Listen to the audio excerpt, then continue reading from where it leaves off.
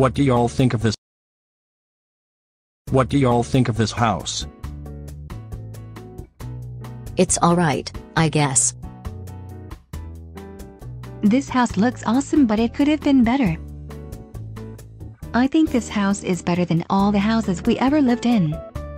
Man, I wish we can live in this house since the house looks relaxing and smooth looking. I think the house is amazing. Alright then, thanks for all the response everyone.